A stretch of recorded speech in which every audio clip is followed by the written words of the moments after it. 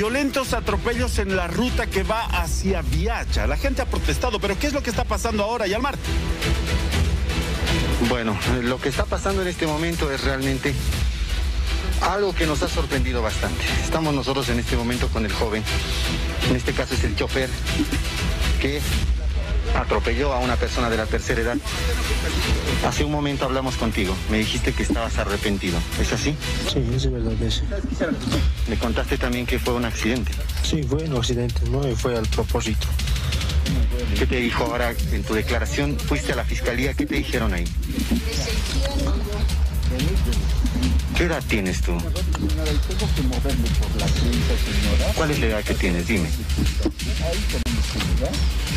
De hecho lo que sucedió en este momento es que este joven, nosotros estamos a unas cuadras de la fiscalía y es porque acá están los familiares del, del señor de 65 años, de 67, Sí, que falleció 67. el pasado 24 de diciembre. Mire, señores de la prensa, a este extremo tenemos que llegar. Este, mi hermano menor, airado, con los ánimos exaltados, porque se entiende, porque le amaba a mi padre, un chico, un joven, inexperto en la conducción.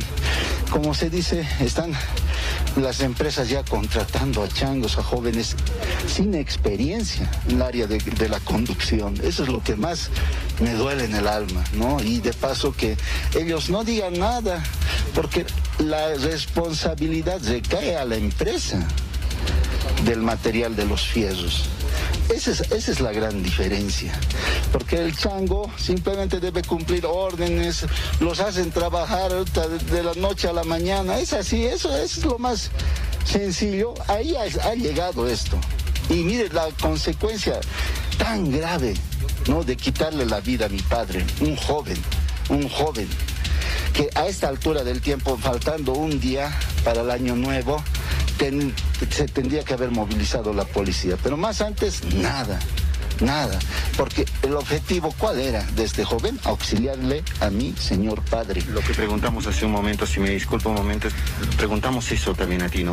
¿Por qué no te bajaste a auxiliar al señor? Tenía miedo,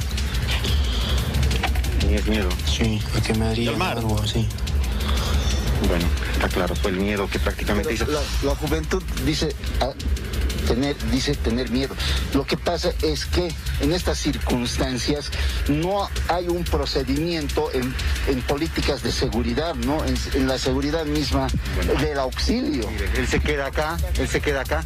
Lo que yo le- les quiero contar es de que, bueno, el joven fue perseguido por varias cuadras. Es la indignación del hermano que tuvo una indignación en ese momento, quiso agarrarlo. Lo agarró prácticamente, nosotros estamos todavía agitados porque corrimos también por varias cuadras y eso es lo que ocurrió acá, porque el joven salía de su declaración, saliste de tu declaración de la fiscalía justamente, ¿verdad? Sí. ¿Qué edad tienes? La verdad tengo 18 años. 18 años. Sí. Muy bien, tiene 18 años. Este hecho ocurrió el 24 de diciembre, lo repetimos. Nosotros vamos a quedarnos todavía un momento acá. Si tienen alguna pregunta de estudio, algo que tal vez pueda yo decirles de lo que ha ocurrido acá, es todo lo que ha ocurrido acá. Ha sido todo un- una odisea llegar hasta este lugar, pero pudimos llegar en el momento exacto que este joven salía de la fiscalía. Yalmar. Se queda aquí él, justamente al lado de los hermanos que ya se han tranquilizado. Los vecinos incluso salieron, quienes vieron que correteaban al joven salieron y entonces, bueno, ayudaron Yalmar. para que al, al joven no le Y pudiera además, la consulta es simple. ¿El joven tiene licencia de conducir? ¿Qué tipo de licencia tiene? ¿Tienes licencia de conducir? ¿Tienes licencia de conducir? Porque afirmaban que no tenías. Es la verdad. No tienes. No, ¿Quién No le ha facilitado el vehículo? confirma. ¿Quién le ha dado ese vehículo? ¿Es de su propiedad? ¿Es de alguna empresa? ¿Cómo es que él aborda este vehículo y lo conduce en la carretera? ¿La empresa cuál es la empresa? el vehículo no es de la empresa. El vehículo no es de la empresa. Sí. Ya, ¿de dónde es el vehículo? De una parada. ¿De dónde? Parada. De una parada. Sí. Pero tú qué hacías en el vehículo en ese momento? ¿A dónde te dirigías? Hacia el alto. Hacia el alto. ¿Qué Sí. estabas llevando? No, vacío. Estabas vacío. ¿Y qué ibas a hacer al alto tú? Le llevaba al garaje. Lo llevabas al garaje. Sí. ¿Tú trabajas para alguna empresa? No, ¿Quién te dio el vehículo?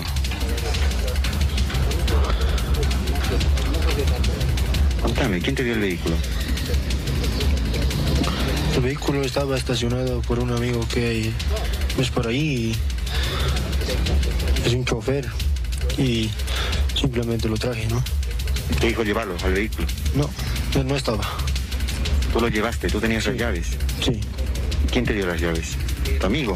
No, estaba en el camión. Las llaves estaban en el camión. ¿Tu amigo sabe que sacaste el vehículo? No. Tampoco es tu vehículo. Bueno. Eso es lo que nos puede decir en este momento el joven. Está acá alrededor, está la fa- están vecinos, está los hijos. Perdón, lo más preocupante es que él quiere asumir toda la responsabilidad. Eso es lo más preocupante, ¿no? Y que la empresa se limpie las manos, que haga una separación misma. Y eso, en cuestiones mismas, es ilógico, porque una empresa representa. Por eso, representa. Tenemos las pruebas respectivas que trabaja para la empresa. Eso es, lo que vamos a aclarar y vamos a demostrar que esta persona sí trabaja para la empresa. Muy bien. Lo que ha ocurrido aquí ha sido realmente una locura y todo lo vamos a detallar en nuestra edición central. De hecho, vamos a mandarles, o mejor dicho, vamos a contarles los detalles en nuestra edición central. Todo lo que hemos podido contarles acá, se lo hemos reflejado. Aquí está la imagen del joven, acá está la imagen del joven y esto es lo que ocurrió acá en Viacha. Se lo hemos mostrado en vivo desde Viacha, el conductor que ha protagonizado un atropello en esta ruta, donde se ve un violento atropello a una, a una persona de la tercera edad. Se lo hemos mostrado y bueno, él ha conversado con nosotros, nos ha revelado que incluso no cuenta con la licencia de conducir. Y afecta y duele mucho.